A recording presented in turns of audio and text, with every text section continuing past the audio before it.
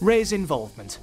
We create better access to rugby, increasing overall participation and the number of people benefiting from involvement. Here's how. So this is a child that he never used to get out and do anything. He used to play hockey and stuff like that. Yeah. But now he's running around the field and he's Yeah. just in, just playing rugby, which he wants to do. I know winning's good to hype you up, but the most important thing is just having fun and enjoying yourself.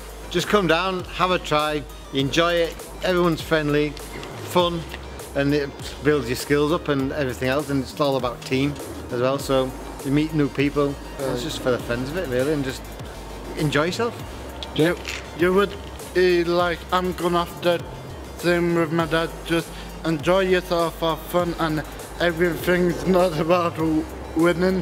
Well, it is in matches, but the main thing is to, to have fun, meet new friends.